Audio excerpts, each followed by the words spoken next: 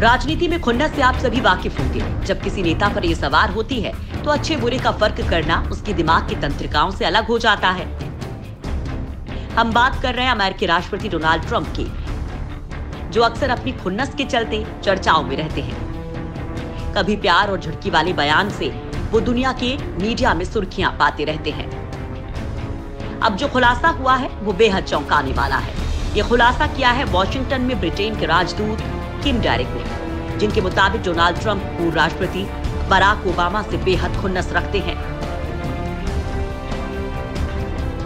और यही कारण है कि उनके लिए के बहुत से फैसले ट्रंप ने या तो बदल दिए, या फिर उनकी हमेशा के लिए तिलांजलि दे दी। इस वक्त ईरान और अमेरिका के बीच जो तनाव चल रहा है, उसके पीछे कोई और वजह नहीं, बल्कि ट्रंप की ओबामा के प्रति खींच है।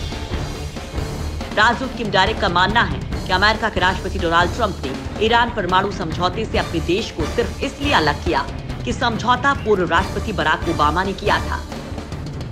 मई 2018 में लीक हुए कूटनीतिक केबल के अनुसार डायरेक्ट को लगता है कि प्रशासन कूटनीतिक जोड़ तोड़ में जुटा हुआ है, खासतौर से वैचारिक और व्यक्तिगत कारणों से। वो ओबामा का समझौता था। मेल ऑन संडे अखबार में लीक केबलों का दूसरा बैच प्रकाशित किया गया है। पहले बैच के प्रकाशन के बाद डायरेक्ट को पद से इस्तीफा देना पड़ा था। ब्रिटेन के तत्कालीन विदेश मंत्री बोरिस जॉनसन मई 2018 में वॉशिंगटन गए थे, ताकि वो ट्रंप को परमाणु समझौते से अलग नहीं होने के लिए राज़ी कर सके। उसके बाद भेजे गए केबल, यानी संदेश में डायरेक्ट ने संकेत दिया था कि इस फैसले को लेकर ट्रंप की टीम में मतभेद था। साथ ही उन्होंने दीर्घकालिक रणनीति की कमी के लिए व्हाइट हाउस की आलोचना भी की है। डायरेक्ट के मुताबिक वे लोग अगली रणनीति तक नहीं बना पा रहे हैं। विदेश विभाग के संपर्क ने कहा कि यूरोप या क्षेत्र में कहीं भी साझेदारों या समर्थकों से बातचीत करने की कोई योजना नहीं है। जॉनसन के साथ बातचीत के दौरान विदेश मंत्री माइक पोम्पियो ने राष्ट्रपति के फैसले के बारे में कुछ बातचीत नहीं की।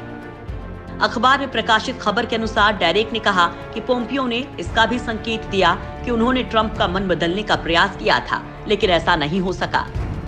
यानी आप अंदाज़ा लगा सकते हैं कि अमेरिकी राष्ट्रपति ने अपनी पूर्ववर्ती सरकार के फैसलों की इतनी खुन्नस के चलते एक राष्ट्र को संकट में डालने का काम किया है।